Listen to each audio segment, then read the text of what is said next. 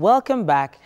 Blessing Oladimeji is a parenting associate who believes that nation building starts from the home. With the focus on parenting, she partners with parents, schools, churches, and communities. She's also the lead consultant of Imparential, a non-profit organization. She'll be talking to us about parenting toolkit. Wow. So a toolkit uh, that I know about is one that you keep in your shed or your basement or your store where you have your spanner, your hammer, uh, spare screws and all that. So you're saying that parents have a toolkit that they need to, you know, they need to uh, visit once in a while. Yeah, good Hmm? morning. Good morning. Thanks for having me. Okay. Now, just like every other occupation, Hmm. have the tool, tools they use. Okay. The mechanic have what they use, the doctors have what they use. The same thing with parenting too, because we realize that it's um, we're building a nation. Okay. Every parent is building it. So it's nation building we are doing. All right. So we need to understand that there are lives in our hands, and we need to know what do we do with these lives. Okay. So that's where the tools. So this is not a physical box. No, it's not. This is not a physical box of tools. No, Uh, but there is a list of things that parents need to have. So what's the first thing in our toolkit? All right, so the first thing in our toolkit is um, the manual. Okay. You know, the same way every product has a manufacturer, you know, we go to the manufacturer, we check the manual and want to know, okay, what, what does the manufacturer have in mind, you know, about this particular product? It's the same way parenting too. So for parenting here now, the manufacturer is God. You, I'm faith-based, so I believe that the manufacturer is God. So when we see some parenting challenges and we don't know what to do, we don't understand, mm. we need to ask that, okay, what does this thing mean? Mm. And how can I get the manual? And when we ask God in prayer, mm. the, the situation, when that situation becomes clear Okay. in the place of prayer. At the same time too, we also have a manual whereby we go to books. Okay. We go online, you click on things, you see a lot of things because we need to keep learning. You need to keep knowing a lot of things. You can't say, oh, I've known it all, I'm not checking out. So you need to keep checking a lot of things too. All right. So uh, there's faith-based, there's science-based. So I guess science-based is go online, Yeah. go check, Yes. or go into your books, uh, doctors' manuals, and things like Ask that. Ask questions. so- Ask questions. All right. So that's the first thing in our toolkit, a manual. But what's the next thing? Um, the next thing we'll be looking at is observation. Okay. You know, and the good thing about these toolkits is that you can apply it for every child. You know, children are different, but this particular one, you can use it for every child. So observation is important. As parents, we need to observe our children and ask, what trait is this child exhibiting at this time? Okay. So, you know, children do different things. You can see a child talking a lot, and mm. instead of tagging the child talkative, you're saying, okay, this child might be good in public speaking. Mm. This child might be good in debating. Okay. So you have to help the child narrow it to that angle. Mm. So that's where observation comes in. And observation too helps a parent to understand when a child is slow in learning, when a child is having issues with cognitive. Mm. You know, so observation is very, very key. Parents need to pause and observe a child. All right. So observation as a tool. Those are two tools for our toolkit so far. Tell me there's a third. Yeah, there's a Okay. third. okay, so values are very important.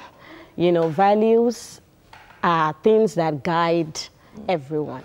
So when we have family values, it guides what we are doing with our children. And one thing with values is values make discipline very easy. Okay. You know, a good example is if a child, if one of the values in your home is excellence, mm. and you get home and you see everywhere scattered, the children's room, instead of having to shout like mm. we normally do, you know, we say, okay, come, is this room excellent? Mm.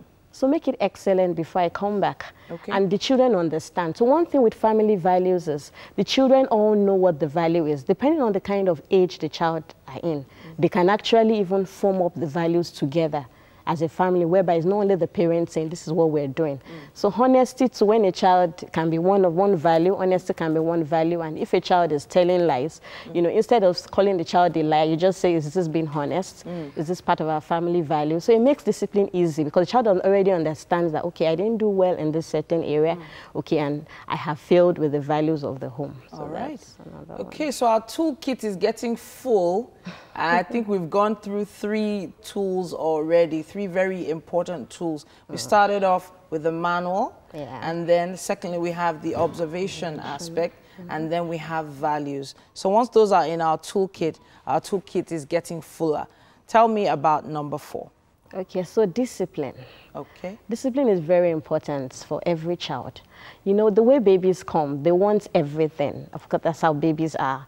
They cry, we, an we answer them, we attend to them, we rush for them. Mm. But it gets to an age whereby we have to understand that we set limits for our children. We set boundaries. We throw boundaries in place, and there are consequences and rewards for everything that our children do. So once they understand that, so there's nothing like permissive parenting, like just leave them. Mm. Or you promise to discipline and you don't discipline. At that point, you get inconsistent. Okay. And one thing with parents, one thing with discipline is consistency and discipline. They go together. Mm. So you have to stay consistent, you know, with discipline. So if you say that there's a consequence for a particular action, you have to go through with it. Yes, mm. you have to go through but it. But I guess in, in, in, this particular area, you have to set those boundaries ahead of time. Definitely. Before those things happen. Yes, ahead, well ahead of time before they happen. Okay. And some, but some things just happen that you were not planning for. Mm. But one thing I realize is when it comes to discipline, we have to like tell our children that, excuse me, we have to instruct them ahead. For example, if they're going out to eat, you're telling them why they shouldn't do something. Mm. So when they go out and you say, okay, you're going to your neighbor's house, I don't want you to eat there because mm. I'm training you. Mm. So if they're asking over there, why are you not eating? You're saying, we just finished eating and because my mom is training us with self-control, mm. she doesn't want us to eat there. So they already have the explanation before you yell at them in public? no, really, you shouldn't, you shouldn't oh. yell, you know, you shouldn't yell at them mm. in public. And mm. respect is one of that. So, mm. you know, we need to respect our children. You don't yell at them in public, you don't hit them, you don't push them, you don't embarrass them in public. No matter what happens, you wait till you get home, okay. then you address it at home. Even if they are watching the television, you don't switch it off without instructing them, like five minutes before that, I'm going to switch off the television. In five so it's just it's yeah. respect. It's just it's respect. respect. That's, okay, respect. now that's one thing I know that not a lot of parents received when they were kids. No, um, didn't you just really hate it when a parent would just come and take your toy Seriously? from you and you're like mm, i was playing with that Seriously. that was like so mm -hmm, mm -hmm. so you're telling your child not to be rude but then you rudely grab a toy them, or, yes, or something it's reciprocal -hmm. we have to go on with the show now and uh, we still have quite a lot coming your way